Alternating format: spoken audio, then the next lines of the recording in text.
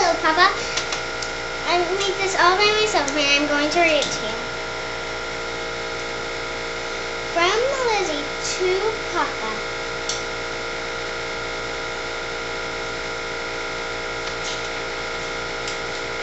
Happy Father's Day! Roses are red, violets are blue, and I love you.